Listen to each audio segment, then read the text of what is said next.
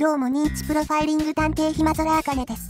えー、先日予告した通り、12月19日中にこちらの取り下げが行われなかったので、乗り越えネット、正式名称、ヘイトスピーチとレーシズムを乗り越える国際ネットワーク代表、上野千鶴子さんに、不法行為に基づく165万円の損害賠償請求訴訟を提訴しました。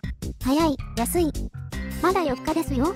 これは論点もシンプル、不法行為も明確です。全く著作権を侵害してないのに、著作権を侵害しているとの虚偽の申し立てにより、動画の公開を停止させられました。この不法行為によって生じた損害を賠償しなさいという訴訟です。なので訴訟も5ページですね。それでも早すぎませんか？裁判を起こすのってもっと時間がかかるもんだと思ってました。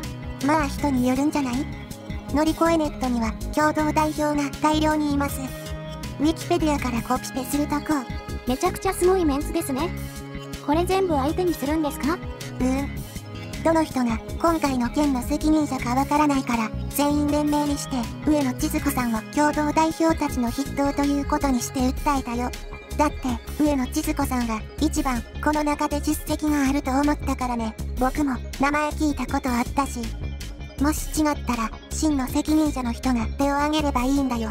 訴状はノートで有料販売しています。被告は有料ノートを買えば裁判所から送られてくるのを待たなくても読めますよ。とても親切で指導精神に溢れてますね。リンクは概要欄にあります。というわけでのりこえねっと代表上野千鶴子さん。対戦よろしくお願いします。